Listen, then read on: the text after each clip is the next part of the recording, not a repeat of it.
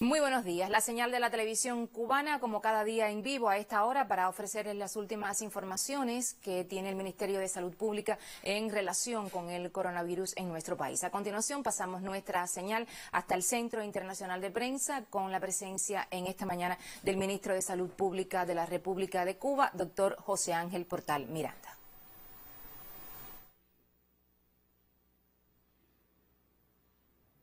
Buenos días.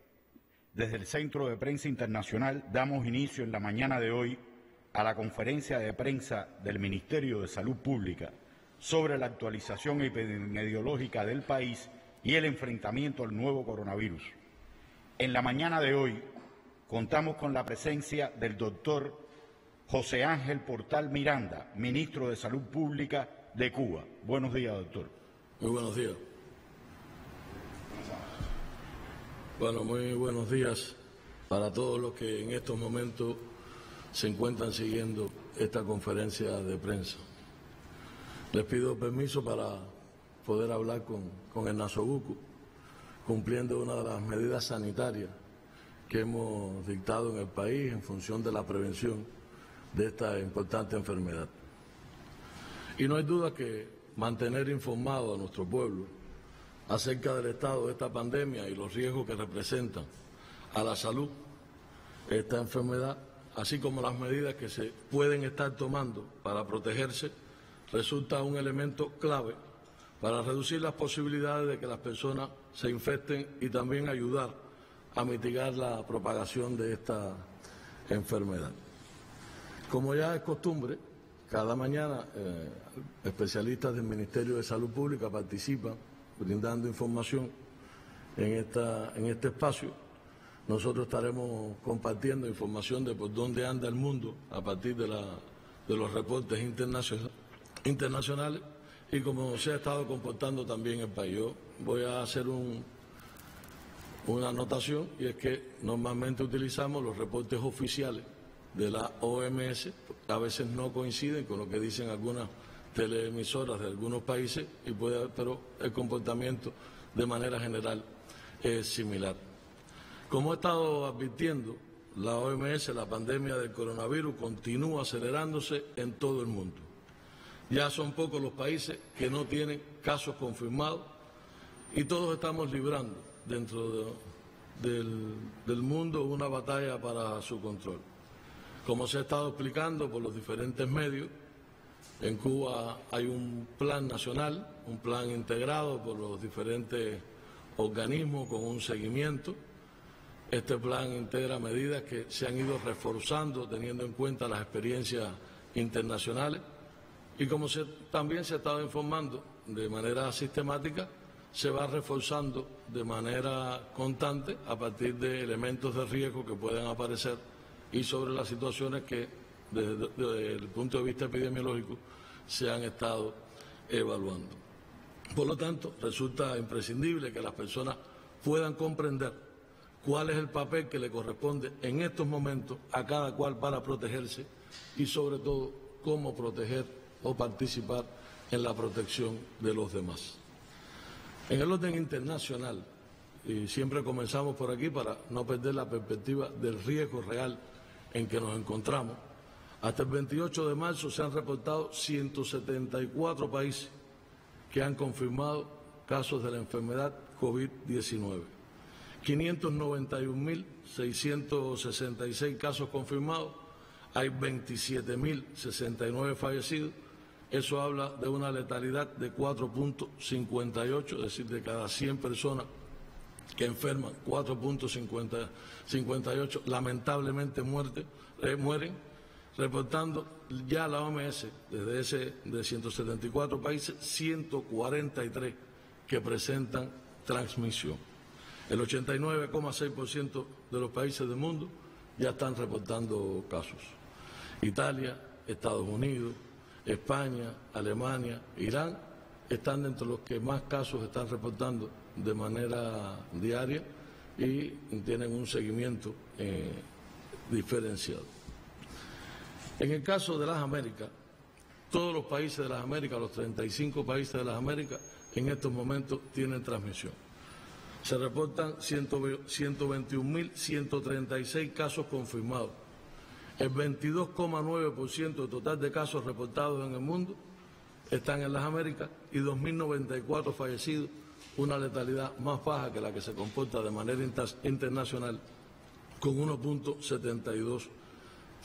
Solo ya un territorio de ultramar no presenta eh, casos confirmados, que son las Islas Malvinas, por lo tanto, prácticamente toda la región de las Américas tienen casos en estos momentos. Estados Unidos sigue marcando la diferencia con el mayor número de casos, seguido de Brasil, Canadá y otros, como ha aparecido en los reportes oficiales.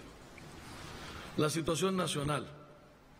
Yo creo que es importante entender que a partir de las medidas eh, recientemente adoptadas en el país, van teniendo impacto uno de los riesgos más importantes, que ha sido la entrada o la reducción de los viajeros provenientes de países en transmisión. Esa es una de las medidas que, se logró informar, son medidas de incremento, son medidas que incluso eran de fases eh, posteriores a las cuales teníamos previsto nuestro plan y se adelantaron para lograr contener una transmisión de envergadura en Cuba. Ayer solo ingresaron al país 198 viajeros cubanos residentes. Es una cifra que ha venido disminuyendo paulatinamente. Según procedencia de Estados Unidos llegaron 78, de México 46, de Italia 30, Rusia 16, República Dominicana 14 y España 12. Se realizaron solo nueve operaciones aéreas, todas por el aeropuerto José Martí. Desde que se adoptó esta medida, todas las personas que han entrado al país, como se ha explicado, son los residentes eh, permanentes y aquellos residentes eh, extranjeros que, que son eh, de manera permanente o transitoria en el país, todos se encuentran en los, en los centros de aislamiento que hemos definido para la vigilancia epidemiológica. En estos momentos tenemos 1.822, que es la cifra que ha entrado desde la toma de la medida, en los 67 centros que en todo el país tenemos destinados para este fin. Y quiero resaltar que a partir de la propia eh, efectividad que pueda tener esta medida, es que de ellos 48 ya han tenido síntomas respiratorios. Por lo tanto, esas son personas que podrían haber llegado a su área de residencia eh, con probabilidad de ser portadores de la enfermedad y ya tenemos confirmado tres de ellos. Es decir, tres de los casos que ya han llegado por el aeropuerto, que logramos aislar, han sido confirmados en las últimas horas. Otro elemento que hemos estado siguiendo de manera significativa son los eh, extranjeros que aún permanecen hospedados en casas de arrendamiento, teniendo en cuenta que están en la comunidad, que algunos de ellos llevan menos de 15 días en el país y aquí tenemos 2.333 fundamentalmente se concentran en La Habana y en Santiago de Cuba. Pues en otros territorios ya han logrado que los extranjeros puedan ir a los hoteles o han regresado a sus respectivos países. Por otro lado, y es una de las medidas que nos ha permitido llegar hasta aquí eh, con una vigilancia intensa, ha sido el programa de vigilancia intensiva que nosotros mantenemos como sistema de salud de manera general las infecciones respiratorias. En el país tenemos los laboratorios de referencia que nos permite saber qué virus respiratorios están funcionando, lo hacemos de manera eh, habitual. Se le da seguimiento también a los brotes que puedan aparecer en instituciones cerradas. Hay que informar que hasta este momento ninguno de los brotes que hemos tenido de infecciones respiratorias está vinculado a esta enfermedad y sigue siendo el principal virus respiratorio que ha estado circulando hasta el momento el virus de la influenza eh, A. Yo creo que hay un elemento que dentro de la vigilancia es justo eh, informar porque requiere de la participación de, de toda la población y es la pesquisa activa que hemos estado desarrollando. Una pesquisa activa donde está jugando un papel fundamental el equipo de salud, hablo del médico, la enfermera de la familia, los profesores del grupo básico de trabajo, logrando llegar a la mayor cantidad de personas todos los días para lograr identificar a aquellos pacientes que tienen síntomas respiratorios, poder definir si pueden constituir casos sospechosos y poder aislar a aquellos que resulten sospechosos en los centros que hemos destinado para este fin y el resto lograr su ingreso domiciliario para su vigilancia también intensiva y si cambia su estatus, poder llevarlos a los centros que hemos definido. Hoy podemos decir que el sistema de salud, y nosotros lo hemos estado reiterando en, nuestras intervenciones mm, cuando discutimos este, este tema, que el sistema de salud está centrado en encontrar a aquellos que están enfermos, aquellos que pueden tener el virus. Nosotros tenemos que lograr aislarlo, tenemos que seguir todos los contactos para poderlos aislar eh, también. Y en este tema tenemos que lograr la participación activa de toda la población. Yo, por solo compartir un dato con, con todo, ayer logramos llegar dentro de la pesquisa activa a 6.812.514 personas en Cuba. De ellos, 1.073.000 fueron adultos mayores y 104.491 fueron ancianos que viven solos, porque sigue constituyendo una prioridad a partir de la vulnerabilidad que representan las personas mayores y que no son las únicas que necesariamente van a exponerse, no son las únicas que van a enfermar y no son las únicas incluso que pueden tener riesgo de morir. Pero por, la, por lo que representa es uno de los, de los grupos que hemos estado con mayor intención evaluando dentro de la pesquisa eh, diaria. Nos está dando que alrededor de un 0,5% de la población pesquisada está teniendo síntomas respiratorios. Y le pongo como ejemplo también que ayer dentro de la pesquisa 146 personas resultaron sospechosas y logramos ingresarlas en los centros de aislamiento que tenemos definidos para este fin. Yo reiterar que en este sentido es vital la cooperación de todos. Hemos, estado solicitando que la población participe, que nos ayude, que no esconda los síntomas pues estarían exponiéndose no solo ellos, estarían exponiendo también a la comunidad, estarían exponiendo también al resto de la familia. Por lo tanto, si todos nos unimos, como nos ha llamado la dirección del país, en, este gran, eh, en esta gran batalla para el control del COVID-19, estoy seguro que lo ganaremos. Quedarnos en la casa y otras medidas de distanciamiento social o físico son, sin lugar a dudas, una importante forma eh, de, frenar la propagación del virus. Yo creo que es importante también que se conozca, y lo hemos estado eh, compartiendo durante, por los diferentes medios, por todas las informaciones que brindamos por los sitios del país, que las personas que conocen de alguna manera, que han estado en contacto con personas que ya se sabe que están confirmados, con personas que hayan venido del exterior, aunque no tengan síntomas, de manera inmediata deben acudir al médico. Una persona que sepa que en algún momento estuvo en contacto con una persona que, ya se sabe que es confirmado, que vino del exterior. Yo creo que debe informarlo de manera inmediata porque es importante mantenerlo en vigilancia. Hoy en el país, a partir de, de toda la vigilancia que hemos estado desarrollando y perfeccionando durante este desarrollo del plan, ya tenemos ingresado 2.317 personas. Hoy tenemos identificados 684 personas que son sospechosas y mantenemos en vigilancia aquellos contactos que son más distanciados alrededor de 30.642. Y no solo hablo de aquellos que son contactos de casos que son confirmados sospechosos, sino estoy hablando también de todos los cuadros, de todas las personas que tienen síntomas respiratorios que no clasifican como casos sospechosos, pero que es importante también su aislamiento. Yo recuerdo que el cuadro clínico de esta enfermedad no, no se diferencia del resto de los cuadros respiratorios que generan el resto de los virus. Por lo tanto, síntomas respiratorios como la tos, como el estornudo, son, son comunes para el resto de las enfermedades y por, por lo tanto es necesario que todas las personas que se identifiquen de esta manera logremos eh, aislarlo.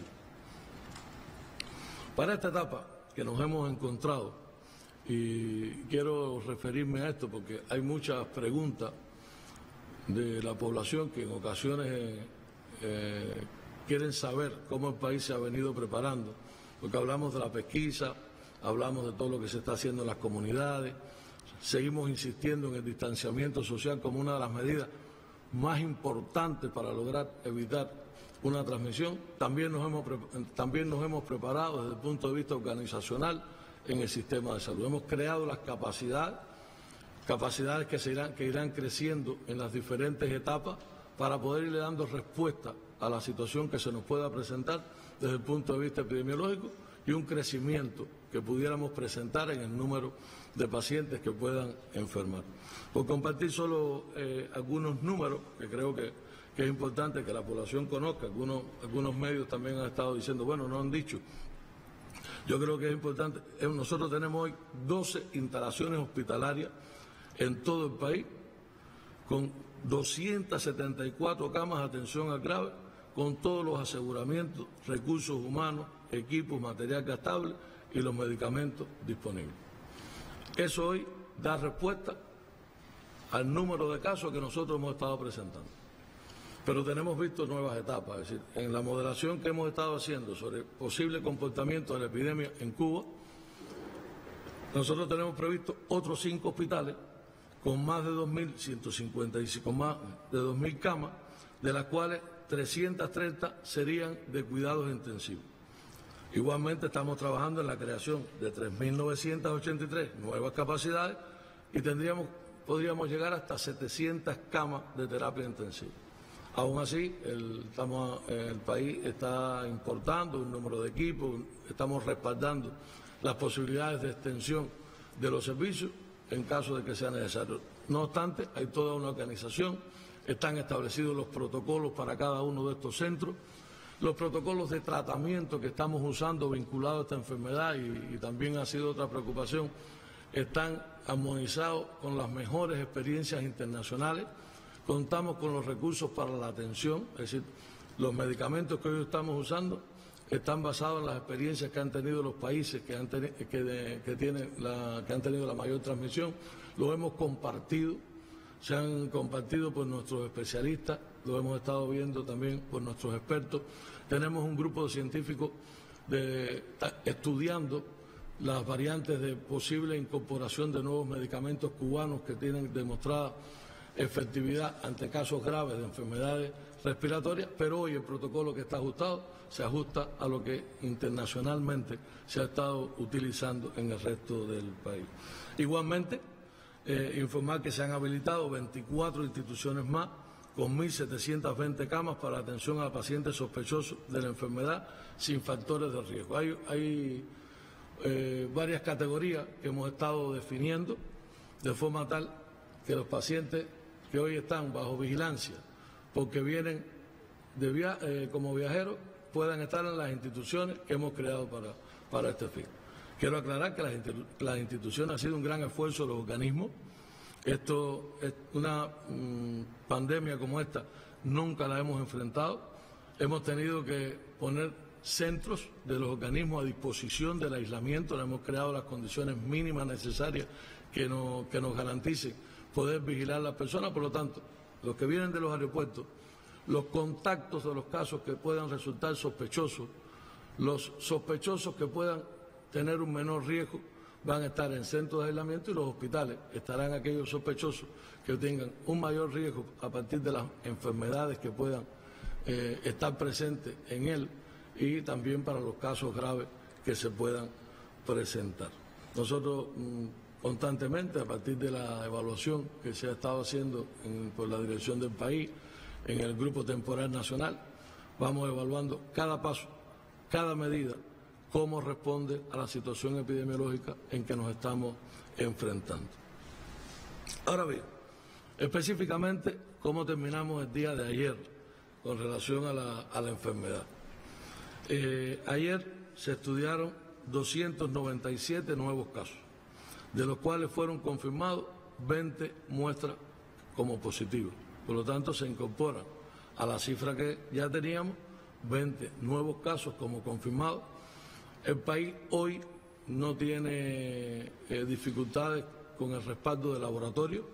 Hemos estado eh, importando los recursos para el diagnóstico.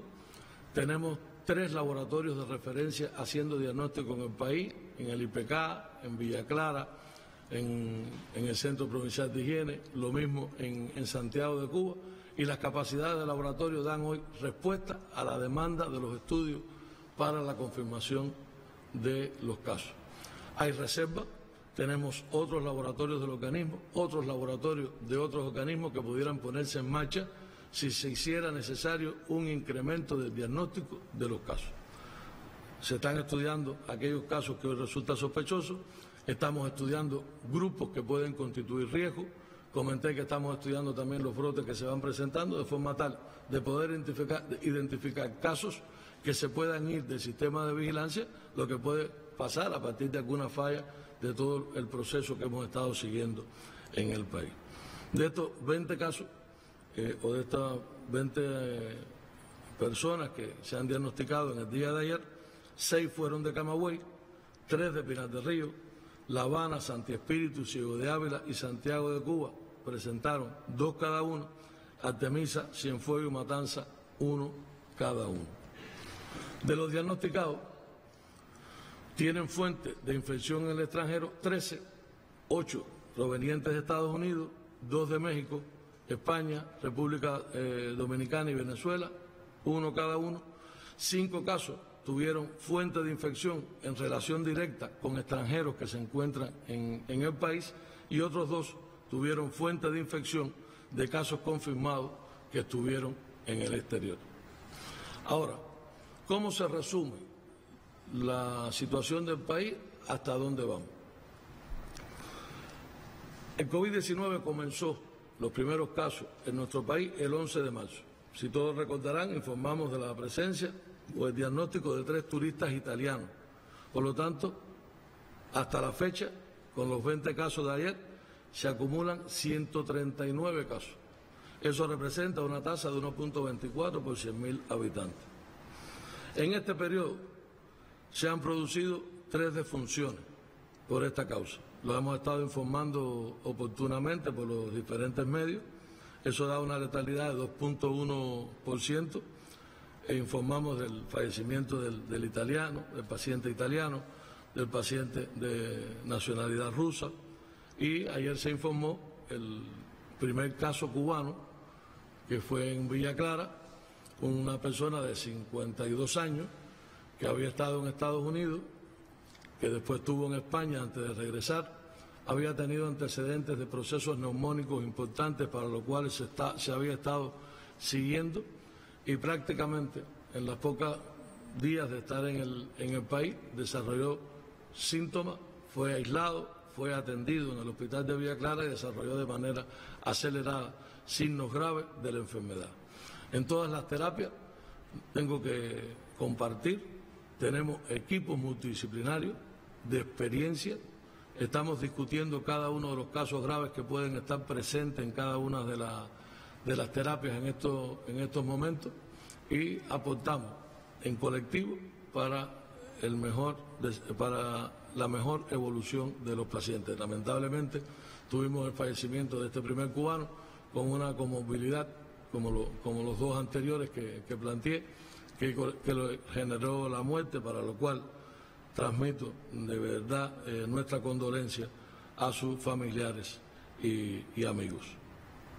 Cuatro pacientes, además, han sido dados de alta y uno fue evacuado hacia su país de origen. Por lo tanto, hoy mantenemos ingresados 131 pacientes.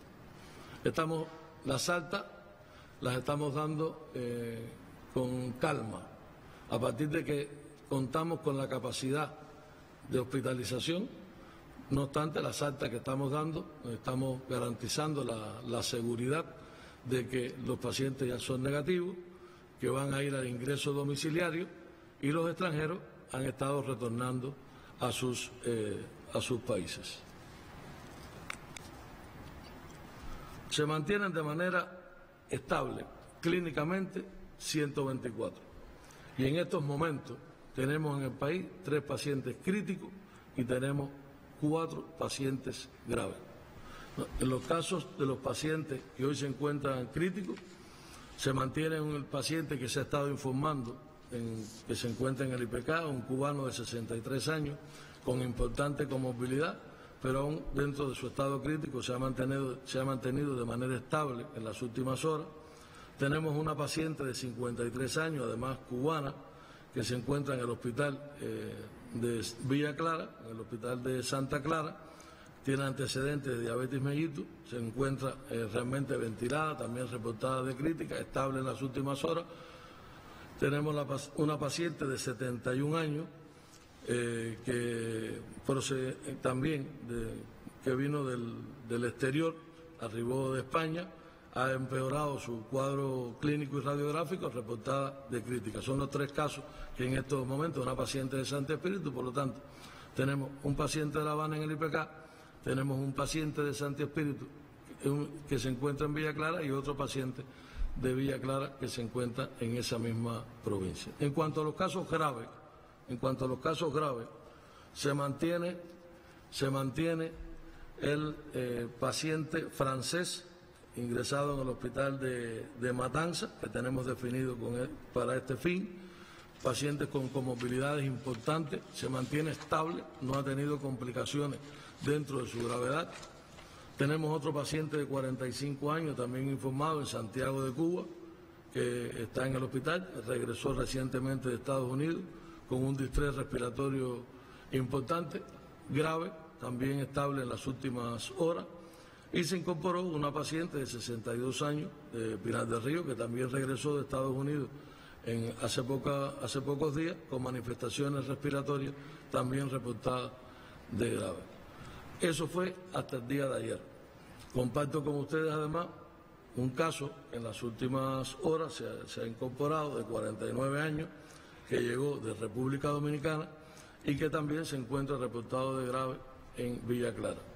Como estamos cerrando diariamente, le informo mm, de este caso que lo evaluamos ahora en la madrugada a las 6 de la mañana y creo que es importante también que nuestro pueblo sepa todos los casos que con con estado crítico o de gravedad se están siguiendo. Lo que sí creo que es importante que se pueda transmitir, importante que se pueda transmitir que en todos los casos tenemos equipos importantes siguiendo, equipos eh, de expertos, tanto del Ministerio de Salud como de las diferentes provincias, siguiendo los casos en todo el territorio.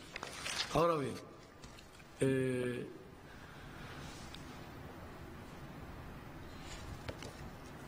De los 139 casos confirmados, y quiero compartir también esa, esa cifra, 114 son cubanos, o sea, el 82% son cubanos. 25 extranjeros.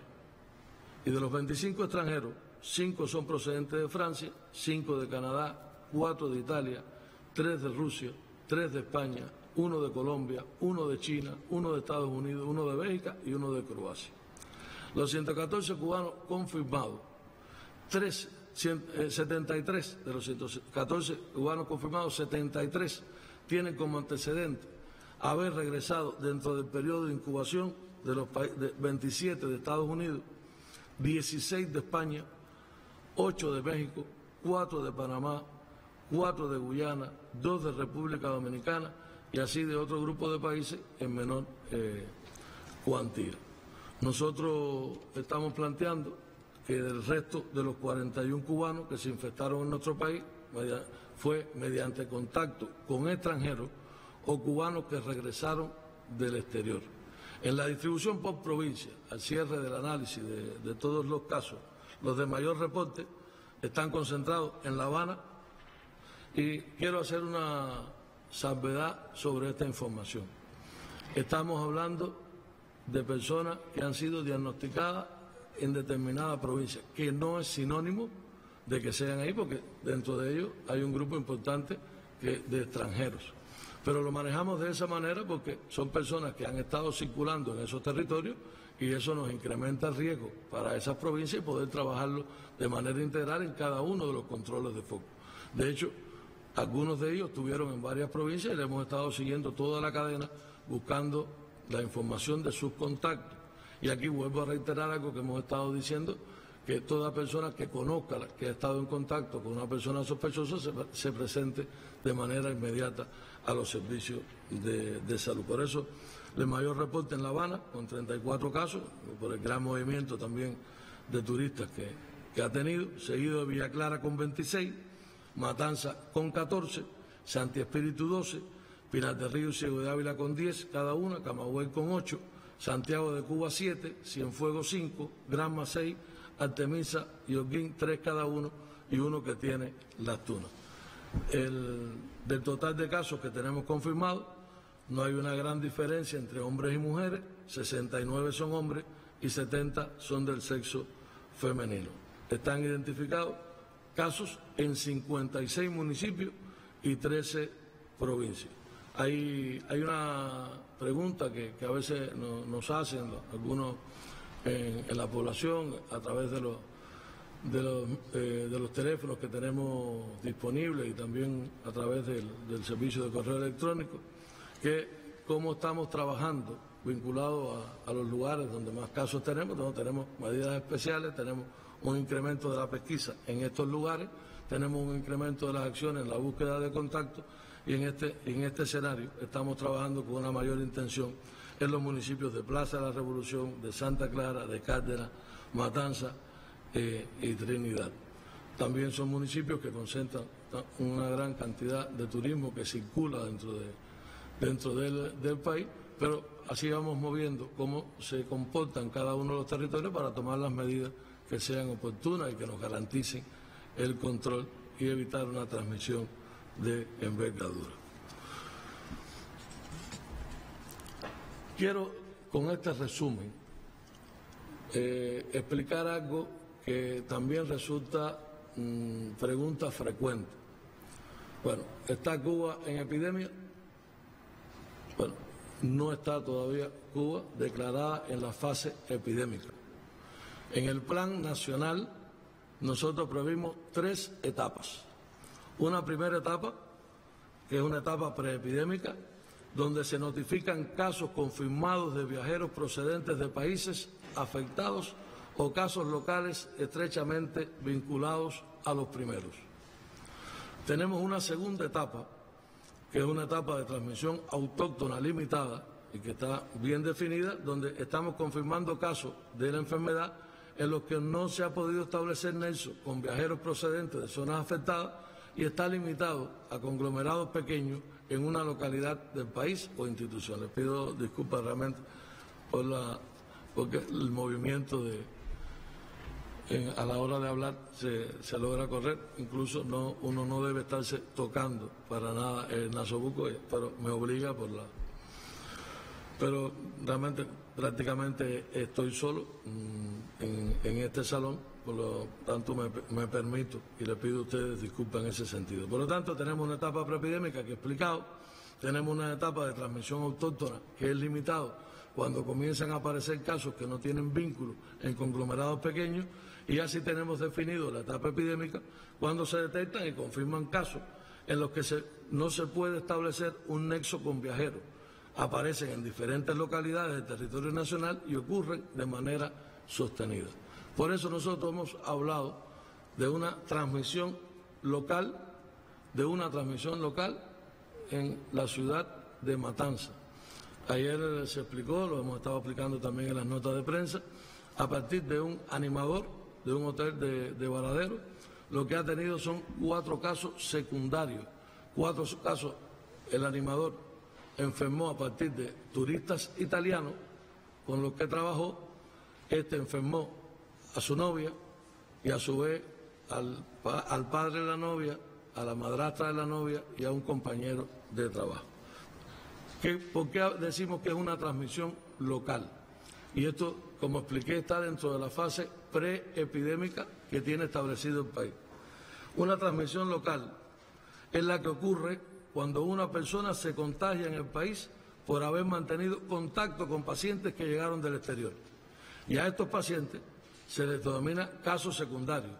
Por lo tanto, en este caso, nosotros pudimos definir la cadena de transmisión.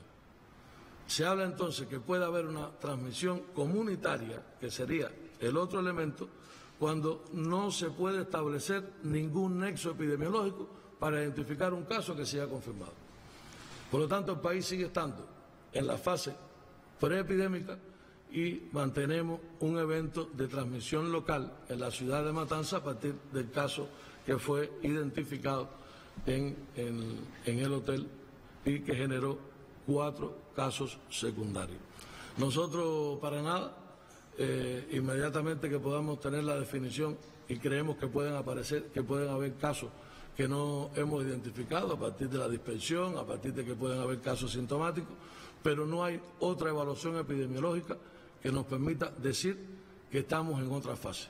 Lo que sí, como expliqué al inicio, es importante que todo el pueblo entienda que hay fase, que hay, que hay, que hay eh, medidas que teníamos previstas en la segunda fase y en la tercera fase, que por en la evaluación que se hizo por el Grupo Temporal Nacional, por las indicaciones del general de ejército, del presidente del país, del primer ministro y todo lo que se ha evaluado en el Grupo Temporal eh, Nacional, se han decidido adelantar para nosotros cambiarle el ritmo habitual que pudiera comportarse la epidemia. Y no es que no, y no, es que no, vaya, no vayamos a tener casos que puedan incrementarse y poder aparecer nuevos y nosotros poder cambiar de fase a partir de lo que podamos identificar. Era un tema que quería aclarar por las múltiples preguntas que se han estado haciendo sobre este, sobre este tema. Hoy estamos hablando de varios expertos que apuntan a que estamos iniciando la etapa más compleja. Y sobre esta base quiero reafirmar las medidas más importantes. No hay un medio internacional, no hay un medio nacional, no hay un compañero de Cuba, ya casi no hay ningún cubano que no hable de distanciamiento social. Algunos también le llaman aislamiento social. Y es lograr estar el mayor tiempo posible lejos de conglomerados de personas. Se ha llamado que las personas traten de estar en la casa, que no salgan, a no ser aquellos que les resulta imprescindible. Y en el caso de los adultos mayores, lograr que realmente se les satisfagan las necesidades por, por el resto de la familia y no tener que estar en la calle, a partir de que son los más vulnerables, aunque no son los únicos que van a estar expuestos a la enfermedad. Hablamos también del lavado frecuente de las manos, de la limpieza de la superficie, de informarse adecuadamente. No todos los medios están transmitiendo información veraz es importante que se sigan los medios nacionales. Nosotros estamos siendo totalmente transparentes con lo que ocurre en el país. No hay información de segunda mano. Todos los días estamos a través de los sistemas estadísticos y de vigilancia poniendo sobre la mesa cuál es el comportamiento de la enfermedad en, en Cuba. Las medidas vinculadas al toser o a estornudar, eso se ha explicado evitar áreas concurridas, acudir al médico y si cree que no es de los grupos vulnerables, recuerde que cualquiera puede enfermar. Yo creo que esto es un elemento que, es importante. En días recientes comentábamos también en la mesa redonda, porque hay algunos spots que hemos estado utilizando, donde se llama la atención de aquellos grupos que es imprescindible que usen el nasobuco, pero ya no hay razón para que la población cubana todo el mundo no tenga su nasobuco. Y además es fácil de construir, se puede hacer varios, puede ser de, cualquier tela que puedan tener las personas en la casa, se puede hacer en, los centros que tiene el sistema de, comercio, en los ateliers, están las costureras en los barrios. Hay muchas personas que de manera voluntaria han estado trabajando, pero también se puede construir a mano y tener varios para cada persona, porque lo importante no es solo usar el nasobuco es lograr usarlo y usarlo bien. Y sobre todo aquellos que comparten lugares públicos, aquellos que tienen que utilizar transporte, eh, transporte colectivo, pero es un medio de protección física que en la medida que todos los cubanos lo interioricemos estaremos mejor protegidos durante eh, el proceso que, que demorará esta enfermedad que no tenemos definido hasta cuándo pueda extenderse a partir de la propia situación internacional, la propia situación de la región, la entrada aún que tenemos de personas y el número de, personas que también pueden hoy ser en el país eh, portadores asintomáticos de la enfermedad que no se han identificado y que tendríamos que identificar oportunamente. Por lo tanto, para nada, esto es un tema resuelto, es un tema que ahora cobra su mayor importancia, ahora con las medidas de refuerzo de, regulación en frontera, es algo que tenemos que trabajar entre todos, algo que tenemos que prepararnos todos y que estoy seguro que entre todos podremos eh, lograr. Ahí eh, hablaba de la información, es importante que nuestra población conozca que existe una legislación, una legislación eh, mm, sanitaria que se va a aplicar en la medida que se identifiquen violaciones de estas normas. Nadie está autorizado a violar normas sanitarias que propicien la propagación de epidemias. Y eso es algo que está bien previsto en el Código Penal de nuestro, de nuestro país. Un tema que no quiero dejar de mencionar, yo creo que prácticamente todos mis, colegas, los ministros, los especialistas lo han estado diciendo, y es la protección de los niños. Es la protección de los niños. La suspensión de la clase no es sinónimo de que los niños estén en la calle. Y cuando hablo de los niños, los adolescentes, tenemos que lograr que se mantengan en las viviendas. Es la mejor forma de protegerse ante el contagio de esta enfermedad. No quería eh, dejar de mencionar dentro de las medidas una medida que es muy efectiva. Yo les recuerdo que esto es una enfermedad que tiene un periodo de incubación que puede durar hasta 14 días y que es un virus que puede estar presente en la superficie de, una mesa, de, de un ómnibus, de una silla, de cualquiera de las cosas que tocamos, que sea tocado por alguien que pueda ser portador de la enfermedad. Por lo tanto, la desinfección, la desinfección de, de la superficie es algo elemental, al igual que la desinfección de las manos con agua y jabón y el uso de hipoclorito o de soluciones alcohólicas. No perder de vista a las personas mayores, algo que quería eh, reforzarlo, a los abuelos, recomendarles que no es tiempo de estar visitando a los nietos, no es tiempo de estar visitando los lugares.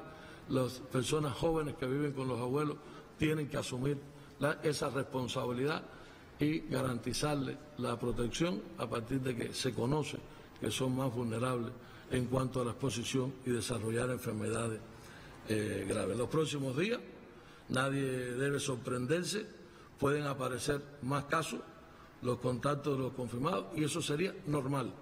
Es decir, nosotros estamos esperando que los próximos días se incremente el número de casos. Y para eso lo estamos buscando, para eso expliqué la pesquisa activa que estamos desarrollando en el país. Yo creo que es justo reconocer el papel que está jugando todo el personal de la atención primaria de salud, un esfuerzo importante. También las organizaciones de masa que se han sumado. La mayoría de la población, yo creo que, uno lo aprecia también, que la población ha estado acatando las medidas sanitarias, la preocupación por ellos y, por su familia, pero tenemos que estar tranquilos pero tenemos que actuar con energía en el cumplimiento de, la, las mismas. Hoy nosotros mm, creemos que las acciones que está tomando el país nos pueden permitir que la curva normal que ha ocurrido en otros países, nosotros podamos llevarlo de una manera, mm, podamos cambiarle el, ritmo y poder tener un menor número de casos que lo que dan los modelos y pronósticos para este tipo de enfermedad. Hay alguna preocupación sobre los niños y el programa materno-infantil. Se han estado tomando medidas reales en función de, este, este, tema. No hay las medidas que ha estado tomando el sistema de salud para disminuir los niveles asistenciales. No está vinculada a dejar de prestar los servicios vitales a la población. Por lo tanto, se mantienen las consultas, aquellas consultas que son indispensables, se mantienen todas las consultas de atención materno-infantil, las embarazadas tienen un respaldo en, su atención, están establecidos los protocolos para las embarazadas en caso que alguna pueda enfermarse, pero la mejor medicina es que cada una de ellas pueda cuidarse y evitar estar en contacto y solo estar, eh, salir ante, los requerimientos. Eh, médicos. Nosotros mm, queríamos terminar nuestra exposición. La batalla contra el COVID eh, necesita de un arma que es indispensable, un arma que se llama solidaridad y empatía y el preocuparnos unos por los otros. Está en nuestra inteligencia y en nuestra capacidad de cooperar. El presidente de la República, el compañero Díaz Canela, y en la reunión de, en la reunión del grupo temporal de trabajo, llamaba a nuestro pueblo, llamaba a toda Cuba a seguir trabajando, a mantener la solidaridad también con el mundo que necesita de nosotros, a seguir llamando a los valores humanos, a la entrega y a la solidaridad. Y creo que esos son los principios con los cuales nuestro país tendría que seguir trabajando y como en otras batallas saldremos victoriosos. Muchas gracias, ministro. Damos paso a la ronda de preguntas formuladas por los corresponsales nacionales y extranjeros acreditados en nuestro país. Solo queríamos recordar y repetir que estas preguntas las recibimos vía online en los correos del Ministerio de Salud Pública para el caso de la prensa nacional y en los del Centro de Prensa Internacional del MIRRE para la prensa extranjera, tomando en cuenta las normas que se han venido tomando de sanidad e higiene dentro del propio local para evitar la aglomeración dentro del recinto, pero que realmente existe una interacción entre la prensa nacional y extranjera con los ponentes que participan en esta conferencia. De la prensa nacional, ministro. Periódico Granma. un minuto. El periódico Granma eh, hace las siguientes preguntas. El aumento exponencial de casos se debe al incremento de disponibilidad de pruebas diagnósticos. Y segunda pregunta, teniendo en cuenta que la prioridad de Cuba es la atención médica a su pueblo, e incidiría en la cobertura de atención médica a nuestra población el envío de brigadas médicas Henry Reed al exterior como nunca antes en la historia? Bueno, con relación a la primera pregunta, el incremento del número de casos no tiene que ver con una mayor disponibilidad de, las pruebas diagnósticas.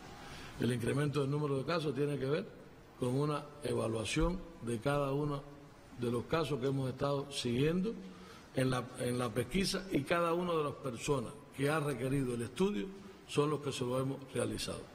Sin lugar a dudas pasaremos a nuevas etapas, pero nuevas etapas en la medida que la situación epidemiológica lo amerite. Por lo tanto, yo lo explicaba en mi intervención, hoy tenemos el respaldo para el diagnóstico de los casos que se necesiten. Los que han salido son los casos que han sido identificados como sospechosos. Eso es una pregunta que las personas a veces dicen, bueno, ese lo cogieron en la calle y en la calle lo diagnosticaron yo. No, no, prácticamente todos los diagnósticos que hemos, que hemos identificado, todos los diagnósticos que hemos confirmado, son personas que han estado debidamente identificadas y aisladas en los centros de aislamiento.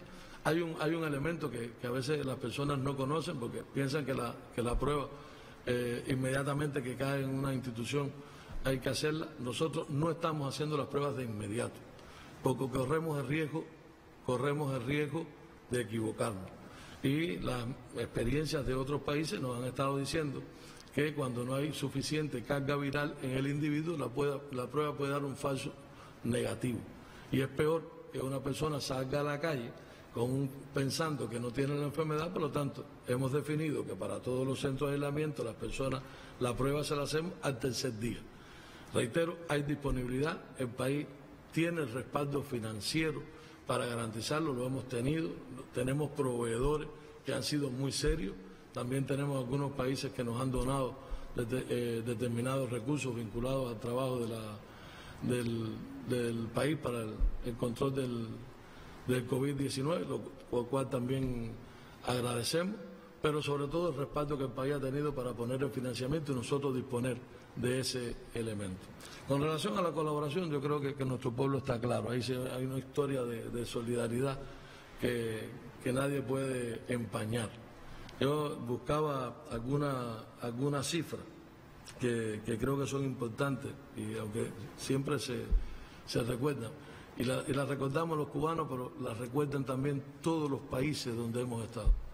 Tal vez los Estados Unidos no lo entienden, algunos gobiernos se les olvida, hablo de gobiernos porque a los pueblos nunca se les olvida dónde ha estado la presencia cubana, decía que hasta la fecha en que se inició la actual epidemia, las brigadas Henry Riff habían estado con 28 brigadas de ese contingente en 22 países. Más de 7.950 profesionales han enfrentado efectos de 16 inundaciones y 8 huracanes, 8 terremotos y 4 epidemias. Y no se puede dejar de mencionar las tres brigadas que estuvieron enfrentando el ébola en el África Occidental. Por lo tanto, hay historia. Tenemos, tenemos brigadas de la manera que lo han estado haciendo, cómo lo hemos estado, cómo nuestro espíritu de solidaridad y el, y el principio de compartir no lo que nos sobra, sino lo que tenemos, está respaldado en ese sentido. Nosotros en estos momentos, eh, a partir de las solicitudes que han realizado determinados gobiernos, hemos estado preparando eh, brigadas. Cuba tiene, Cuba tiene casi 100.000 médicos, tiene 95.000 médicos, tiene 84.000 enfermeras. Cuba tiene un, un, indicador de 9 médicos por cada mil habitantes. Y alguien que le pueda faltar el médico en su consultorio dice, bueno, pero el mío no está. Y hay bastantes médicos, pero en cifras totales, eh, en cifras totales Cuba tiene suficiente disponibilidad de recursos humanos para poder ayudar. No obstante, lo estamos evaluando a punta de lápiz. Es decir, cada una de las solicitudes siempre miramos dónde podemos, dónde, dónde vamos a identificar el profesional que puede salir a ayudar a otros países, siempre sin afectar el servicio a nuestra población. Y nosotros en estos momentos ya tenemos 14 brigadas Henry Riff que han salido, han salido 593 eh, profesionales, 179 médicos y 399 enfermeros, 15 tecnólogos. Llama la atención, 338 mujeres están formando parte de esta, esta brigada y yo creo que ese, ese nuevo gesto, aun cuando no todos los países lo, han logrado hacer, va a seguir distinguiendo a la revolución cubana. Transmitirle a nuestro pueblo que las brigadas Henry Riff que hoy están ayudando a los países para nada pone en riesgo la atención de la salud de nuestro pueblo. En eso estamos siendo muy cuidadosos y protegiendo todas nuestras instituciones para garantizar también la atención que se merece con calidad. Esta pregunta la hace CNN de Estados Unidos. ¿Cuántos sitios tienen en Cuba con posibilidad de hacer pruebas diagnósticos? ¿Cuánto tiempo demoran los resultados? ¿Cuántas pruebas se hacen diariamente?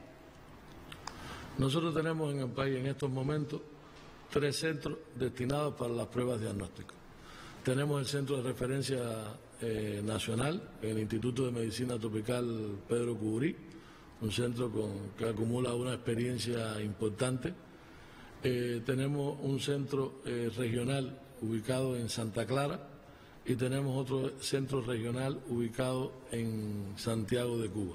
Yo explicaba en mi intervención que tenemos otro centro propio de, salud, que lo estamos dedicando a los estudios, porque además no dejamos de vigilar el resto de las enfermedades, tenemos que seguir vigilando la, presencia de, la bovirosis y, el diagnóstico. Por lo tanto, hoy, en la, en la etapa que se encuentra el país, en la etapa que se encuentra el país, el número de pruebas necesarias a realizar es suficiente la capacidad de diagnóstico que tenemos. De hecho, nosotros en esos tres centros podemos hacer alrededor de mil pruebas diarias y estamos haciendo alrededor de 300 pruebas. Si mañana tuviéramos que incrementarlo, tenemos otros laboratorios de biología molecular que tiene el sector de la salud, además de laboratorios de biología molecular que tiene otros centros como BioCuba Pharma, que lo pondríamos a disposición del diagnóstico rápido, eh, del diagnóstico oportuno de estas personas. La prueba nunca demora más de 24 horas. Una prueba, todo su procesamiento, a lo sumo 12 horas cuando se logra la extracción, después la lectura de, la prueba. Por lo tanto, cada prueba que se hace en menos de 24 horas logra estar en el hospital o en la institución donde se indicó. La siguiente pregunta es de Sputnik, Rusia, y dice así, a partir de entrar en una fase 2 en los inicios de una etapa epidémica, se ampliarían los test de diagnóstico en las zonas de mayor vulnerabilidad, donde hay una incidencia de casos que se presentan con frecuencia. ¿Qué política se seguirá en lo adelante para diagnosticar posibles casos contagiados? Para cada etapa tenemos bien establecidas cuáles son las medidas a ejecutar. Nosotros en estos momentos no contamos con los kits rápidos, de hecho mm, en algunos lugares hay algún cuestionamiento a su, a su utilización y a su efectividad. No obstante, estamos viendo las mejores experiencias internacionales. También dispondremos en el país de nuestro kit rápido, pero hoy tenemos el respaldo, hoy tenemos el respaldo de las pruebas que se necesitan para hacerlo. Si mañana cambiáramos de la fase, y yo recuerdo, y yo insisto que todavía no estamos en una fase preepidémica, si mañana cambiáramos la fase, también están previstos cómo cambiar los algoritmos diagnósticos que nos permiten incrementar el pesquisaje de la población. Hoy está en los pacientes que constituyen sospechosos, están los contactos que puedan, eh, los contactos más cercanos, están en determinados grupos vulnerables e y en los estudios de casos eh, hospitalizados por, otra, por otras razones y también aquellos brotes vinculados a instituciones cerradas para estar seguros que no hay un movimiento en otro lugar que no sea el que estamos estudiando. Periódico El Nuevo Día de Puerto Rico. ¿Podría segmentar por provincia los casos hasta ahora? ¿En qué municipio hay más infectados? Yo lo tenía por aquí. Lo tenemos abierto por cada uno de, la, de, las provincias.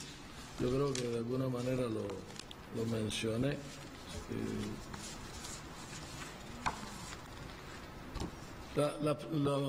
las provincias que más afectadas están son aquellas que están vinculadas a mayor movimiento de turismo. Yo hablaba, en el caso de, los municipios, hablé del municipio Plaza, hablé del municipio Playa, hablé de Trinidad, y cada uno de los municipios que nosotros, mm, y, no lo estamos haciendo solo con aquellos municipios que tienen mayor número de casos.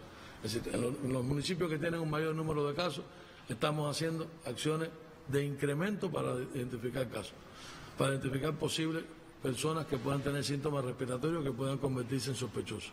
Pero también estamos haciendo los municipios que hoy no tienen casos, pero que son municipios de alto riesgo por el movimiento de turistas que han tenido durante, durante este año. Por lo tanto, está bien definido, tenemos la provincia. En mi intervención yo hablé del número de casos que hoy tenemos en cada provincia eh, al cierre de, la transmisión y como es lógico, La Habana concentra el mayor número por ser también la capital que tiene la mayor movilidad de personas. La Agencia P de Estados Unidos. Algunos países han impuesto la cuarentena total para cortar la transmisión. Con el actual nivel de contagio en Cuba, ¿sería necesaria una reclusión obligatoria de las personas? ¿O a partir de cuándo esto se produciría?